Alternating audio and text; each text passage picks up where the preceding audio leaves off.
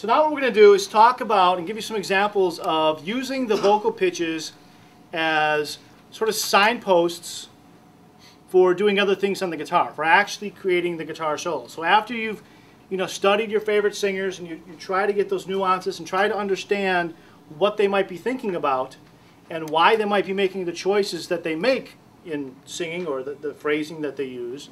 Those are the first steps. The next step is to now play in between those notes. Okay, and use these pitches as uh, you know destinations or goals. Okay, so let's try it a little bit more. Gonna, this melody now will what we want to do here is just repeat it over and over. Okay, like four times. Okay, and I'll play some other things, and then we'll talk about what I was playing.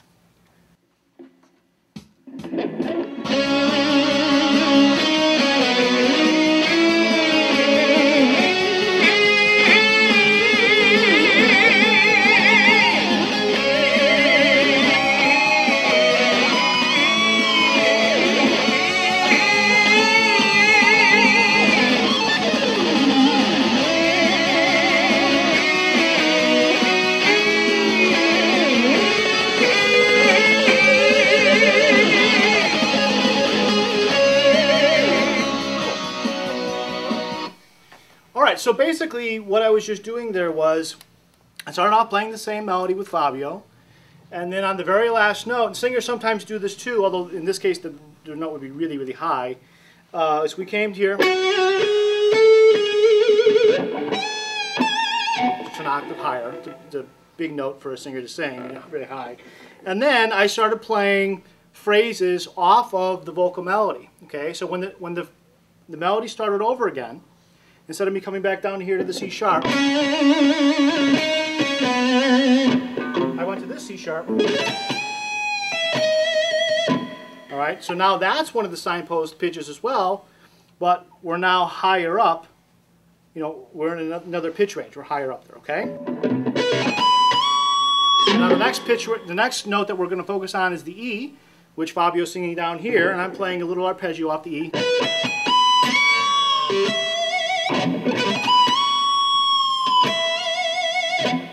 Okay, and then when Fabio's playing or singing this, I'm up here. Same pitches, just I just chose to do the, the little glissando on the one. Okay, and also um, I matched the vibrato still, so there's no vibrato on these two pitches for Fabio, and I also didn't do vibrato there, but I have a glissando here and then vibrato here. So I nailed that one down there. And then when that pitch is ending or being sustained, the G sharp,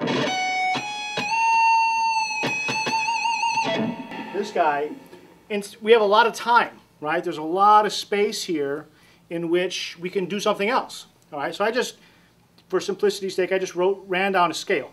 Okay, it's just a C sharp harmonic minor scale. It fits real perfectly over the chord.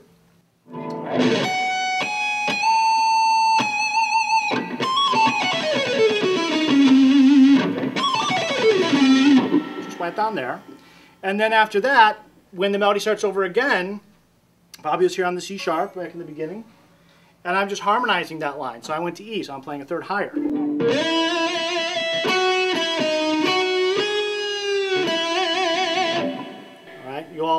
Heard that, right? And then when Fabio's singing this, I'm also doing uh, harmony higher, third higher. What I was trying to do in that point is, you know, Fabio was singing uh, these pitches pretty strong. We're singing everything strong, but singing this one particularly strong. That's sort of the climax of the whole thing. So instead of just playing the pitches, for me to try to uh, to try to somehow match all that power, I just did a tremolo on those pitches that were harmonized to his pitches. Okay, so.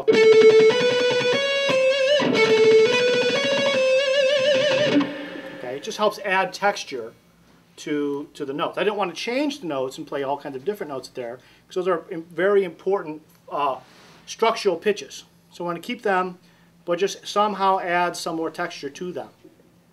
All right. And then again, that brings us back to the five chord, which the five chord is the most what of the key? Dense. Most badass chord of the key. Okay, that's the right word. Okay, it's an official music theory term.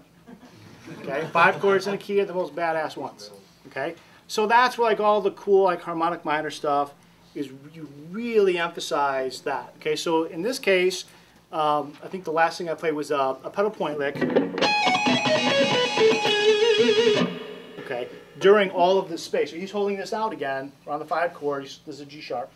And I'm just doing a little harmonic minor, little pedal point thing on that to sort of fill in the gaps. Does that make sense? So what we don't want to do in this case, or what I didn't want to do in this case, is I didn't want to like step all over his vocal lines because they're cool lines. So I wanted to retain a lot of that stuff, but play over or play play along with those pitches, okay?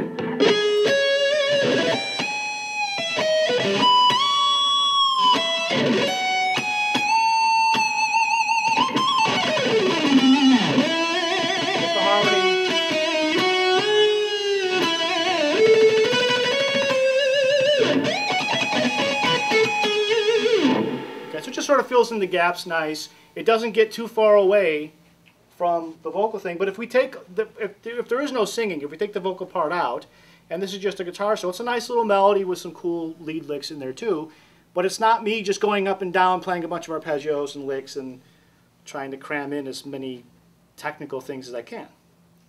Okay, so it's still lyrical. You, you get that sort of sense that it's um, lyrical-like. Okay, so that would be an example of um, just sort of the vocal influence, the influences that of great singers like Fabio has had on me and the choices that I might make in creating solos and melodies and that sort of thing.